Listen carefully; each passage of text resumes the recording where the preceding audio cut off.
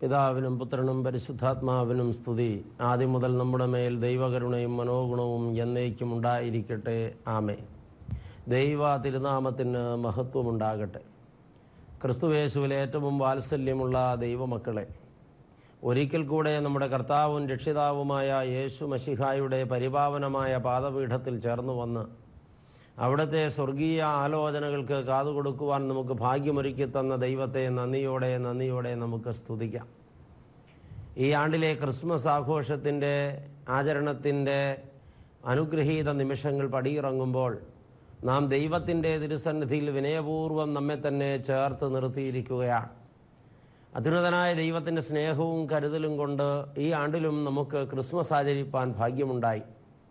എങ്ങനെയായിരുന്നു ക്രിസ്മസിന്റെ ആചരണം എന്നത് സംബന്ധിച്ച് നാം ഇനിയും ചിന്തിക്കുന്നത് കൊണ്ട് കാര്യമുണ്ടോ? പതിവ് പോലെ ആഘോഷ തിമർപ്പിൽ ആറാടിയായിരുന്നുവോ നാം നമ്മുടെ ക്രിസ്മസ് ആഘോഷിച്ചത്? പ്രിയപ്പെട്ടവരെ യേശുക്രിസ്തു വിഭാവനം ചെയ്തതായ തത്വങ്ങളും സത്യങ്ങളും കാറ്റിൽ പറത്തിക്കൊണ്ട് യേശുക്രിസ്തുവിന്റെ അനുയായികളെന്ന് അവകാശപ്പെടുമ്പോൾ തന്നെ യേശുവിന്റെ ജീവിതവും യേശുവിന്റെ ശൈലിയും യേശുവിന്റെ പഠിപ്പിക്കലുമായി യാതൊരു ബന്ധവുമില്ലാതെ തികച്ചും ജഡീകമായ താല്പര്യങ്ങളെ മാത്രം മുൻനിർത്തി ആഡംബരപൂർണമായ ഒരു ആഘോഷമായിരുന്നു നാം തീർത്തത് എങ്കിൽ ഓർക്കുക നാം കർത്താവിന് ഹിതകരമായി പ്രവർത്തിച്ചിട്ടില്ല. യേശു ചെയ്തതുപോലെ നാമും ചെയ്തിട്ടുണ്ടെങ്കിൽ സത്യമായിട്ടും ക്രിസ്തു നമ്മളിൽ ജനിച്ചു എന്ന് ലോകം കണ്ടിരിക്കുന്നു. ക്രിസ്ത്യാനി എന്ന പേരുള്ള ആളുകളുടെ ഉള്ളത്തിൽ യേശു ജനിച്ചു എങ്കിൽ അവരുടെ വാക്കിലും പ്രവൃത്തിയിലും പെരുമാറ്റത്തിലും ചലനത്തിലും ക്രയവിക്രയങ്ങളിലും ഒക്കെ യേശുവിന് യോഗ്യമാം വണ്ണമുള്ള പെരുമാറ്റവും പ്രതികരണങ്ങളും ഉണ്ടാകും. ഇന്ന് ഈ കാലഘട്ടത്തിൽ ക്രിസ്തീയ ലോകത്തിന്റെ ഏറ്റവും വലിയ അപജയം ഈ ക്രിസ്തീയ സാക്ഷ്യം വഹിക്കാൻ കഴിയാത്ത ആളുകളും വിശ്വാസ സമൂഹവുമാണ്. എന്നാൽ പ്രിയപ്പെട്ടവരെ ഈ ക്രിസ്മസ് അനുഗ്രഹത്തിന്റെതായിരുന്നു എന്ന് നനയ്ക്കുകയാണ്. ഈ ക്രിസ്മസിൽ ഈ കൊച്ചു കേരളത്തിൽ ആരും ദാരിദ്ര്യത്തിൽ പട്ടിണിയിൽ കിടന്നില്ല എന്ന് നമുക്ക് ഉറപ്പുണ്ടോ? ഈ ക്രിസ്മസിൽ ഈ അനുഗ്രഹിക്കപ്പെട്ട സുദിനം പടിയിറങ്ങുമ്പോൾ നമ്മുടെ പരിചയത്തിലോ നമ്മുടെ ബന്ധത്തിലോ അല്ലെങ്കിൽ നമ്മുടെ ജീവിത സൗകര്യത്തിൽ നാം കടന്നു പോകുന്ന നമ്മുടെ ചുറ്റുപാടുകളിലോ ആരും വേദനയോടെ അവശതയോടെ അവഗണനയോടെ ഇരുന്നില്ല എന്ന് നമുക്ക് ഉറപ്പുണ്ടോ? പ്രിയപ്പെട്ടവരെ എവിടെ അവശത അനുഭവിക്കുന്നവരുണ്ടോ അവിടെ തന്റെ സാന്നിധ്യമരുളി. ആ വേദനിക്കുന്നവർക്ക് ആശ്വാസവും അഭയവുമായ ഒന്നുതമ്പുരാന്റെ പിറവിയുടെ ഓർമ്മ നാം അനുഷ്ഠിച്ച ഈ നാളുകളിൽ അപ്രകാരമൊരു പങ്കിടലിന് നമ്മുടെ ജീവിതത്തെ പകുത്തുവയ്ക്കുവാൻ നമുക്ക് കഴിഞ്ഞുവോ? വീണ്ടും പ്രിയപ്പെട്ടവരെ യേശുക്രിസ്തുവിന്റെ തിരുചരണത്തോട് ബന്ധപ്പെട്ട് തന്നെ മറ്റു ചില ചിന്തകൾ കൂടെ നാം ഇന്ന് പങ്കിടുകയാണ്. യേശുക്രിസ്തുവിന്റെ തിരുജനനത്തെക്കുറിച്ച് കിഴക്ക് നിന്നുള്ള വിദ്വാൻമാർക്ക് ചില സൂചനകൾ കിട്ടി. ആകാശ വീക്ഷണം നടത്തിക്കൊണ്ടിരുന്നപ്പോൾ രാജാവിന്റെ നക്ഷത്രം അവർ കണ്ടു എന്നാണ് ഈ ജ്യോതിശാസ്ത്രജ്ഞന്മാരുടെ കാഴ്ചയെക്കുറിച്ച് വചനം പറയുന്നത്. ജ്യോതിശാസ്ത്രജ്ഞന്മാർ ആകാശവീക്ഷണം നടത്തിക്കൊണ്ടിരിക്കെ കണ്ടെത്തിയതായ നക്ഷത്രത്തിന്റെ പേരിൽ അല്ലെങ്കിൽ അവരുടെ ജ്ഞാനത്തിൽ നിന്നവർ വായിച്ചറിഞ്ഞതായ ദൈവപുത്രന്റെ ജനനത്തെക്കുറിച്ചുള്ളതായ അവരുടെ പരിജ്ഞാനത്തിന്റെ വെളിച്ചത്തിൽ കാലഗതി കണക്ക് കൂട്ടിയിട്ടവർ പൗരസ്ത്യദേശത്ത് നിന്ന് മധ്യപൗരസ്ത്യദേശത്തേക്ക് ഈ ശിശുവിനെ കാണുവാനായിട്ട് കാഴ്ചകളുമായി പുറപ്പെട്ടു പോകുകയാണ് ഓർത്തു നോക്കിയാൽ അവരെ സംബന്ധിച്ച് ഇനി ആ ശിശുവിനെ കാണുക തന്നെ കാണാതെ ഒരു കാരണവശാലും അവർക്ക് സ്വസ്ഥതയില്ല അടങ്ങിയിരിക്കാനാകില്ല പറവ് കൊണ്ട ശിശുവിനെ കാണുവാനായിട്ട് എത്ര ദൂരം സഞ്ചരിക്കുവാനും അവർ അപ്പോൾ തയ്യാറാകുന്നു. ഈ സംഭവം നടക്കുന്ന കാലത്ത് യാത്രയ്ക്ക് എത്രമാത്രം സൗകര്യങ്ങൾ കാണുമായിരിക്കാം?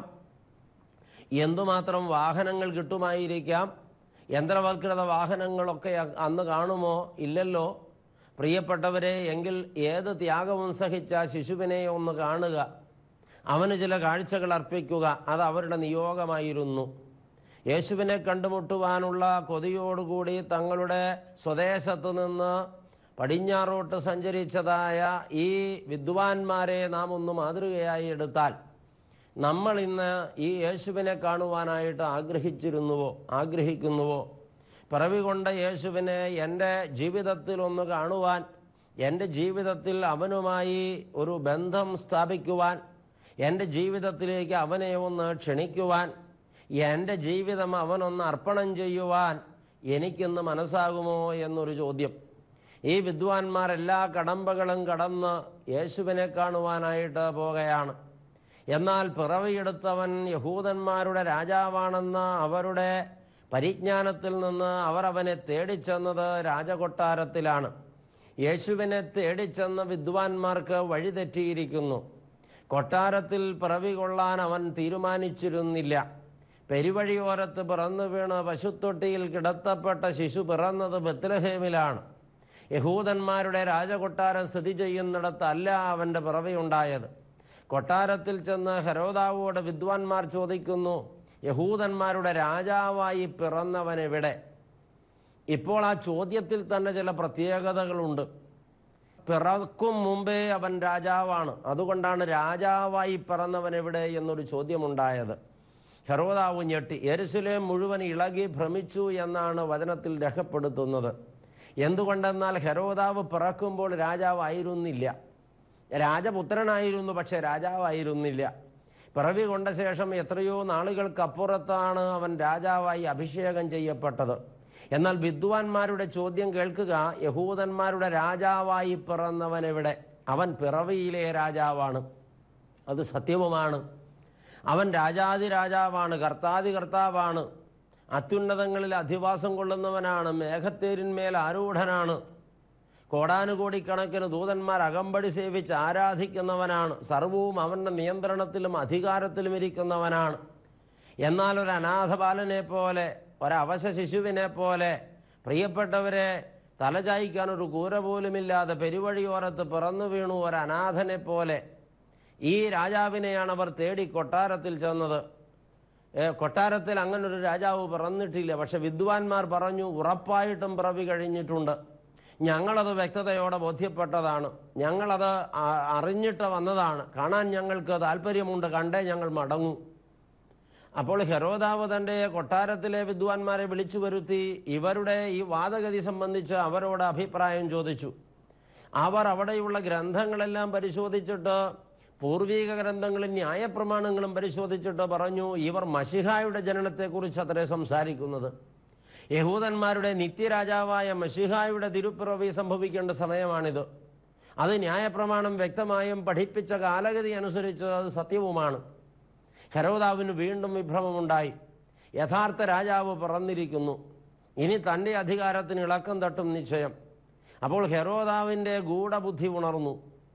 അവൻ എപ്പോഴും ദുഷ്ടലാക്കോടെ മാത്രം ചിന്തിക്കുന്നവനാണ്. സ്വന്തം സിംഹാസനം ഉറപ്പിച്ചു നിർത്താൻ വേണ്ടി ഏതറ്റം വരെയും ഏത് നീചകൃത്യവും ചെയ്യുവാൻ മടിയില്ലാത്ത ഒരു വ്യക്തിയായിരുന്നു ഹെരോദാവ്. അന്നൊരു പക്ഷേ ലോകത്ത് ഒരേ ഒരു ഹെരോദാവേ ഉണ്ടായിരുന്നുള്ളൂ.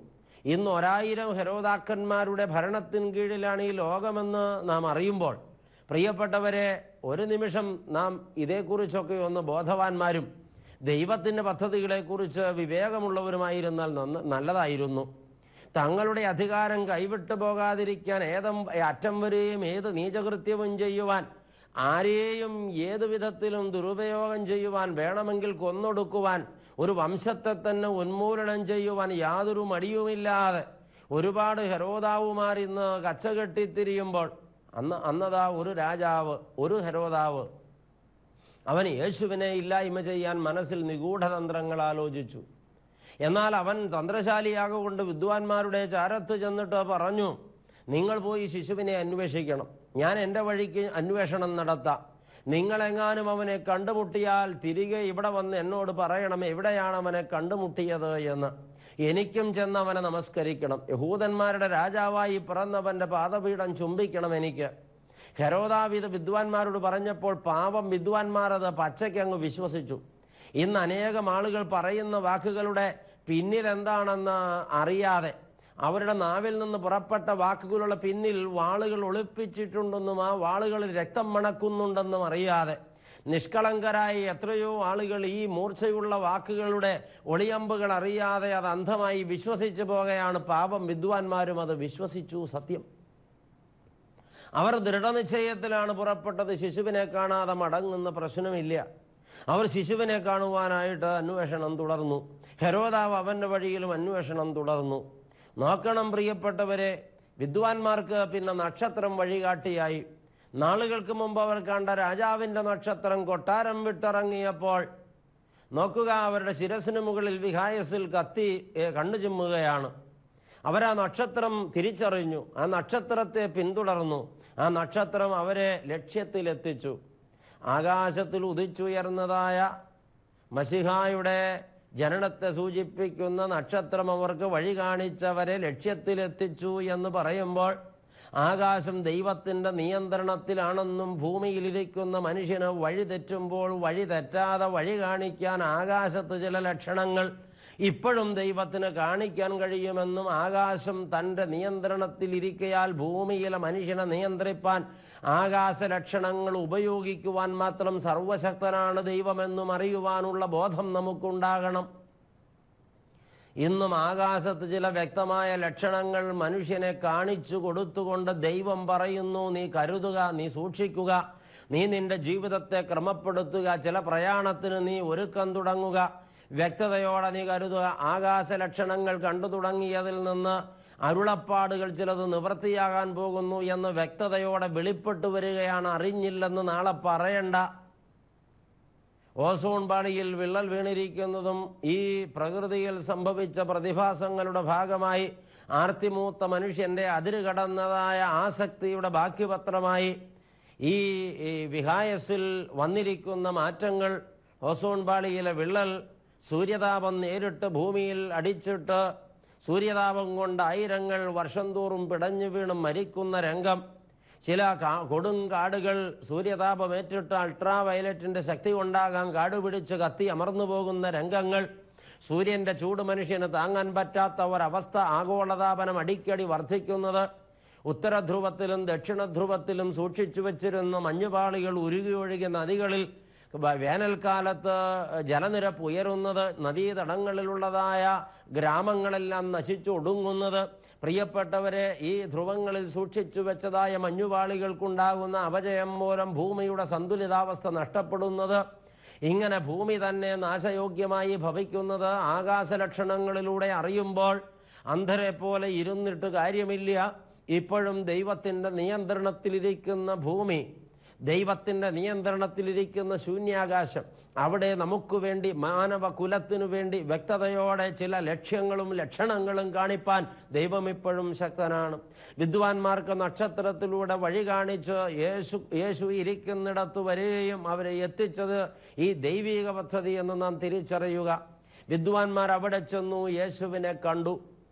ഈ ക്രിസ്മസിന് ഇതുപോലൊരു അന്വേഷണത്തിന് നാം ആരെങ്കിലും മുതിർന്നുവോ പ്രിയപ്പെട്ടവരെ? യേശു ഇരിക്കുന്നിടത്ത് എനിക്കും ചെല്ലണം. ഒരു നോക്കേണ്ട കർത്താവിനെ എനിക്കും കാണണം. ആ പുണ്യ പൈതലിനെ എന്റെ കണ്ണുകൊണ്ടൊന്ന് കണ്ടിട്ട് എന്റെ ഹൃദയത്തിൽ അവനെ ഞാൻ ഏറ്റുവാങ്ങിയിട്ട് എന്റെ ജീവിതം അവന് ഞാൻ അർപ്പണം ചെയ്തിട്ട് ഈ ആണ്ടിലെ ക്രിസ്മസ് എനിക്ക് ധന്യമാക്കി തീർക്കണമെന്ന് ഇന്നലെ അറിഞ്ഞില്ലെങ്കിൽ ഇന്നെങ്കിലും അറിയേണ്ടതുണ്ട്. നമുക്കവനെ അന്വേഷിച്ച് കണ്ടെത്തേണ്ടതുണ്ട് ഇന്ന് കൈമോശം വന്നിരിക്കുന്നു എത്രയോ പേർക്ക് യേശു ക്രിസ്തുവിനെ ക്രിസ്ത്യാനി എന്ന പേരുണ്ട് അതിനുള്ള പാരമ്പര്യവുമുണ്ട് പക്ഷെ ക്രിസ്തുവിനെ കൈമോശം വന്നിരിക്കുന്നു. ഈ യാത്രയുടെ വഴികളിൽ എവിടെയോ കൈവിട്ടു പോയതാണ് അവനെ. തിരക്കേറിയ യാത്രയ്ക്കിടയിൽ പലപ്പോഴും നാം മറന്നു പോകുന്നത് ഇതുപോലുള്ള വളരെ പ്രധാനപ്പെട്ട ചില സംഗതികളാണ്. നമ്മൾ ആസ്വദിക്കുന്നതായ ഈ ലോകസംബന്ധികളായ ജഡീക കാര്യങ്ങളൊന്നും നമുക്ക് കൈവിട്ടു പോകാറില്ല. അവയെക്കുറിച്ച് നാം വളരെ ബോധവാന്മാരാണ്. എന്നാൽ വിലപ്പെട്ടതൊക്കെ കൈവിട്ടു പോകുമ്പോൾ വിലയില്ലാത്തതും നശിച്ചു പോകുന്നതും വാരിപ്പിടിച്ചുകൊണ്ടുള്ള പ്രയാണം. എന്ത് നേടിത്തരുമെന്ന് അവരവരോടൊന്ന് ചോദിപ്പാൻ നമുക്കിനിയും ഏറെ വൈകണ്ടതുണ്ടോ പ്രിയരെ? നമുക്ക് നമ്മെ തന്നെ ഒന്ന് പരിശോധന കഴിക്കാം നമ്മെ തന്നെ ഒന്ന് വിലയിരുത്തി നോക്കാം. ഇതാ വിദ്വാൻമാർ അവനെ കാണുവാൻ തേടി. അവർ കണ്ടേ അടങ്ങൂ എന്ന അവരുടെ ആർത്തി കണ്ടപ്പോൾ ദൈവം നക്ഷത്രം മൂലം അവർക്ക് വഴി കാണിച്ചു കൊടുത്തു. ഈ വിദ്വാൻമാർ അവനെ കണ്ടു. കണ്ടു കഴിഞ്ഞപ്പോഴോ അവർ അവന് കാഴ്ചകൾ അർപ്പിച്ചതായി നാം വചനത്തിൽ വായിക്കുന്നു. കാഴ്ചകൾ അർപ്പിക്കാനാണ് രാജാവിനെ കാണുമ്പോൾ ഈ പുണ്യപൈതലിനെ കാണുമ്പോൾ അർപ്പിക്കേണ്ട കാഴ്ചകളും സ്വരുക്കൂട്ടിയാണ് നാളുകൾക്ക് മുമ്പ് അവർ യാത്ര പുറപ്പെട്ടതെന്ന് ഓർക്കണം. ഒരാൾ പൊന്നും മറ്റൊരാൾ മീറയും മൂന്നാമത്തെയാൾ കുന്തിരിക്കവും കാഴ്ചവെച്ചു എന്നാണ് വേദപുസ്തകത്തിൽ വായിക്കുന്നത്.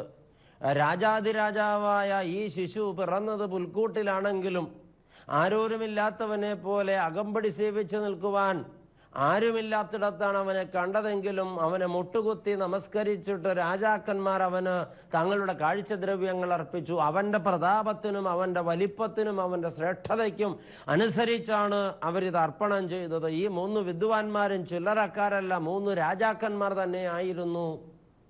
അവർ മൂവരും അവന്റെ മുമ്പിൽ മുഴങ്കാൽ മടക്കി നിലത്തോളം കുനിഞ്ഞു ചെന്ന പാദം ചുംബിച്ചപ്പോൾ അവർ അവരെ തന്നെ അടിയറ വയ്ക്കുകയായിരുന്നു ഈ രാജാവിന്. ഞങ്ങളുടെ മേൽ എന്തെങ്കിലും അധികാരമുണ്ടെങ്കിൽ തമ്പുരാനെ അത് തൃപ്പാദത്തിൽ നിന്ന് പുറപ്പെട്ടതാണെന്ന് അറികയാൽ തൃപ്പാദം ചുംബിച്ച് അടിയറ വയ്ക്കുകയാണ് ഞങ്ങൾക്കുള്ള സകലതിനെയും എന്നാണ് അവർ ഇപ്പോൾ അവിടെ തങ്ങളുടെ അർപ്പണത്തിലൂടെ വെളിപ്പെടുത്തിയത്. ഈ ക്രിസ്മസ് ആചരിച്ച് തീർത്ത പ്രിയപ്പെട്ടവരെ ഒരു നിമിഷം ഒന്ന് ചിന്തിച്ച്. നമ്മുടെ ജീവിതം അവന്റെ ദാനമാണ്. നമ്മുടെ സ്ഥാനമാനങ്ങൾ അവന്റെ ദാനമാണ്. നമ്മുടെ കഴിവുകൾ അവന്റെ ദാനമാണ്. നമ്മുടെ ആഹാരവും വസ്ത്രവും അവന്റെ ദാനമാണ്. നമ്മുടെ ആരോഗ്യം അവന്റെ ദാനമാണ്.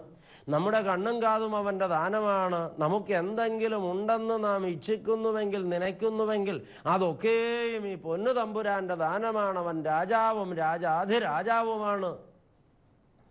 ഇതൊക്കെ ആസ്വദിച്ചനുഭവിക്കുന്നവരെ ഈ ക്രിസ്മസിന് യേശുവിനെ കാഴ്ചവെക്കാൻ എന്തുണ്ട്? ആ പാദപീഠത്തിലൊന്ന് കുനിയാൻ മനസ്സ് വരുന്നുണ്ടോ? അവിടെ ഒന്ന് വിനയപ്പെടാൻ നമ്മുടെ ഹൃദയം താഴുമോ? അവന്റെ പാദപീഠം ഒന്ന് ചുംബിക്കുവാൻ നമുക്ക് മനസ്സാകുമോ? അവനെ ഒന്ന് അവനെ ഒന്ന് അടുത്തറിയുവാൻ ഇന്ന് നമുക്ക് അല്പമെങ്കിലും ആഗ്രഹം കാണുമോ? ഈ ക്രിസ്മസിന് അതാണ് സംഭവിക്കേണ്ടത്. ക്രിസ്മസ് അനന്തരം അതുതന്നെയാണ് സംഭവിക്കേണ്ടത്. യേശുവിന്റെ പാദപീഠത്തിൽ ചുംബിക്കുവാൻ തക്കവണ്ണം നിലത്തോളം കുനിഞ്ഞ് സാഷ്ടാംഗ പ്രണാമം ചെയ്ത പാദപീഠം ചുംബിച്ചിട്ട് പറയണം തമ്പുരാനെ അവിടുത്തെ ദാനമാണ് എനിക്കുള്ളതെല്ലാം. രാജാക്കന്മാരായ വിദ്വാൻമാർ കൊണ്ടുവന്ന് അർപ്പണം ചെയ്തത് പൊന്നും മീറായും കുന്തിരുക്കവുമാണെങ്കിൽ പ്രിയപ്പെട്ടവരെ നമുക്ക് എന്താണ് അർപ്പണം ചെയ്യാനുള്ളത്?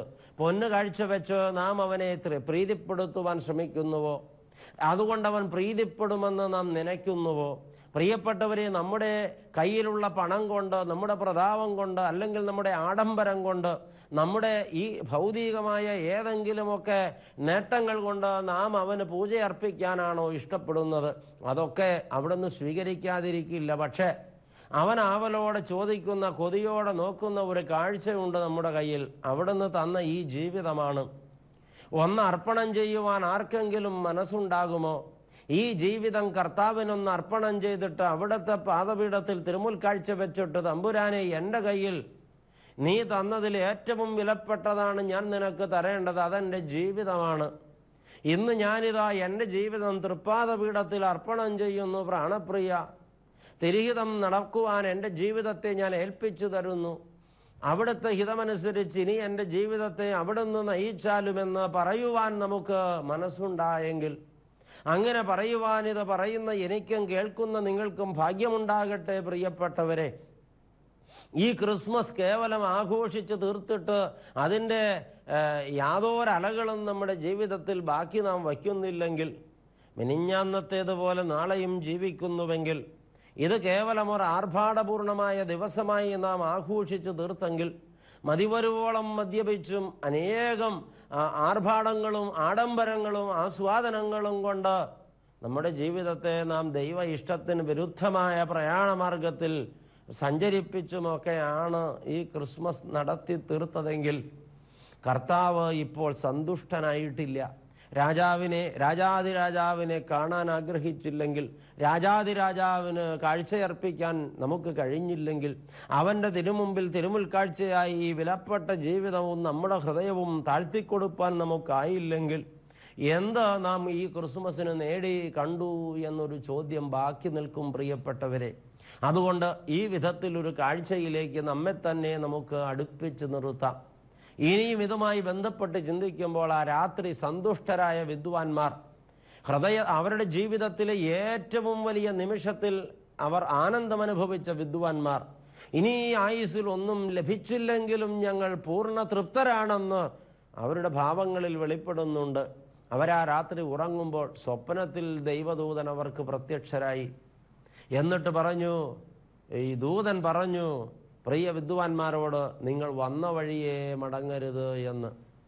ഓർക്കണം പ്രിയപ്പെട്ടവരെ യേശുക്രിസ്തുവിനെ കണ്ടുമുട്ടുന്ന സകലരോടും യേശുവിനെ പാദപീഠം ചുംബിക്കുന്ന സകലരോടും യേശുവിന് ഹൃദയം തിരുമുൽ കാഴ്ചവെക്കുന്ന സകലരോടും യേശുവിന് സ്വന്ത ഹൃദയത്തിൽ ഇടം കൊടുക്കുന്ന സകലരോടും ദൈവദൂതൻ ഇപ്പോൾ പറയുന്ന വചനം ശ്രദ്ധിക്കണം.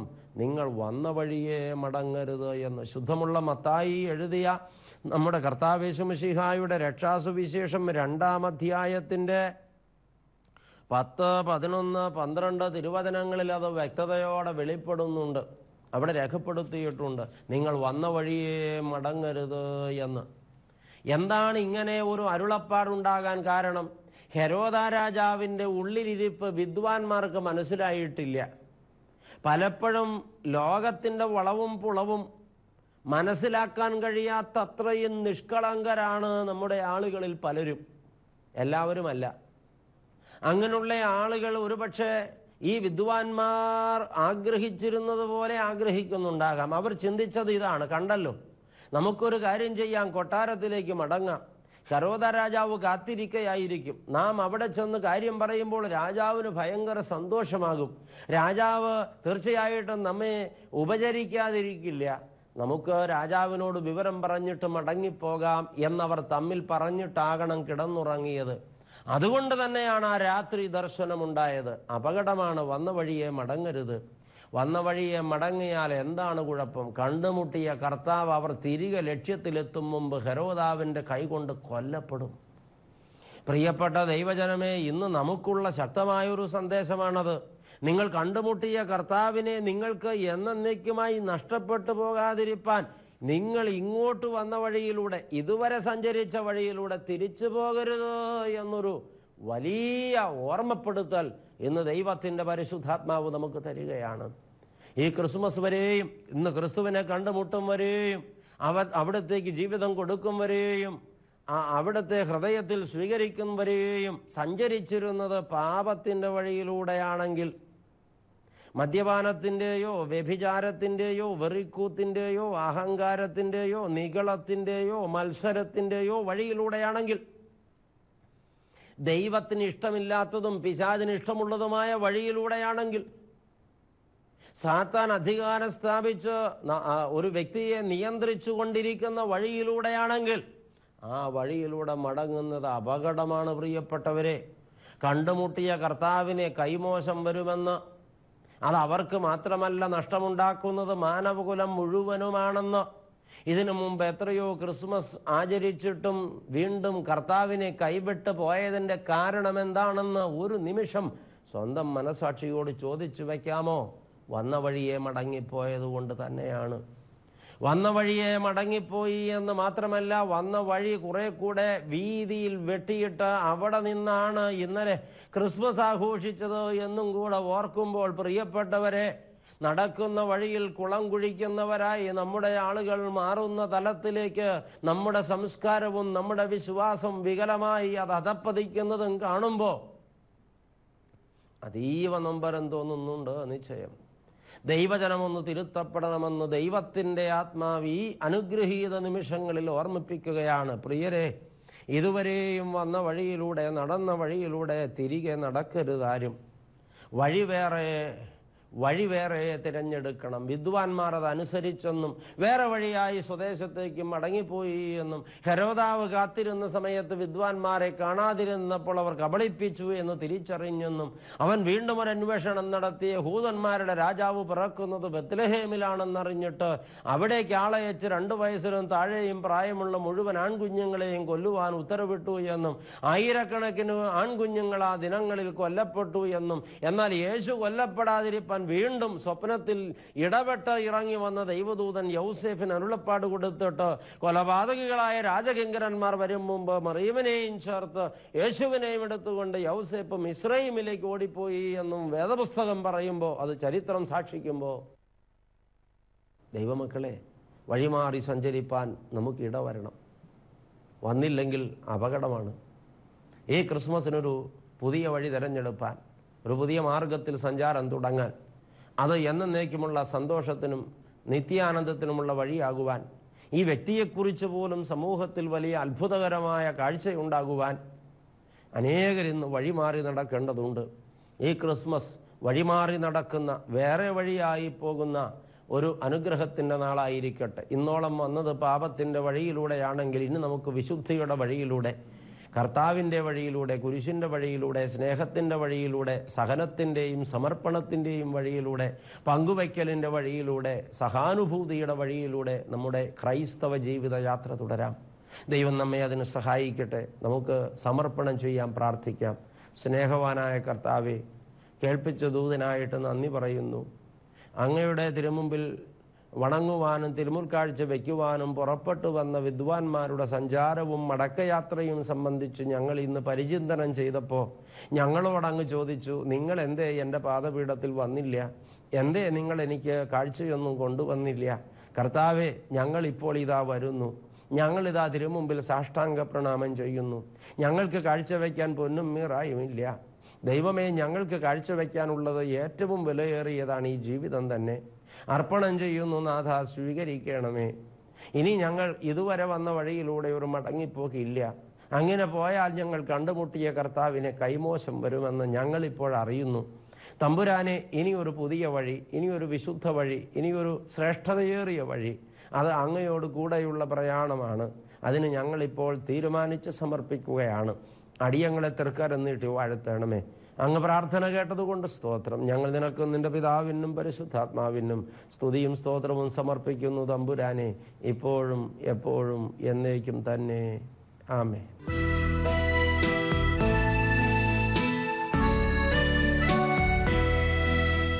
കാഴ്ചകളും ഇടയും വിദ്വാൻ